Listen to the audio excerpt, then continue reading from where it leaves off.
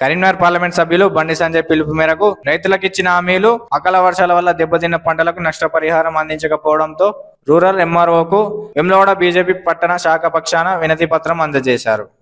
ఈ సందర్భంగా వారు మాట్లాడుతూ అగ్రికల్చర్ ఆఫీసర్తో దెబ్బతిన్న పంటలను పరిశీలించి నష్టపరిహారం ప్రభుత్వం అందించాలని డిమాండ్ చేశారు. అదేవిధంగా రేపు కరీంనగర్లో కరీంనగర్ పార్లమెంట్ సభ్యులు బండి సంజయ్ చేపట్టబోయే రైతు దీక్షలో రైతులు ప్రజలు పెద్ద ఎత్తున పాల్గొని విజయవంతం చేయాల్సిందిగా కోరారు. ఈ కార్యక్రమంలో బీజేపీ పట్టణాధ్యక్షులు కౌన్సిలర్ రేగుల సంతోష్ బాబు వివేక్ రెడ్డి గుడిసె మనోజ్ బిల్ల కృష్ణ మెరుగు లక్ష్మణ్ బీజేపీ కార్యకర్తలు నాయకులు పాల్గొన్నారు.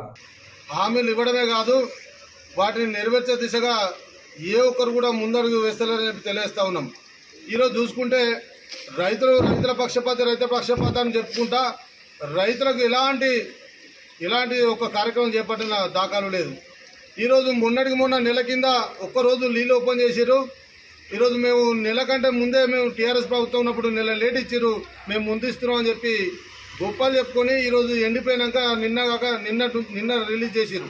అంటే పంటలు ఎండిపోయిన పరిస్థితి ఈ దుస్థితి తీసుకొచ్చారు. చూసుకుంటా ఉంటే ఈ రోజు రైతు రుణమాఫీ పేరిన రెండు లక్షల రూపాయలు మేము వంద రోజుల తర్వాత రుణమాఫీ చేస్తా అన్నారు. ఈ రోజు మళ్ళీ అలాగే వడ్లకు మద్దతు ధర ఐదు వందల రూపాయలు ప్రకటిస్తా అని చెప్పి చెప్పి ఇప్పటికి కూడా ప్రకటన లేదు.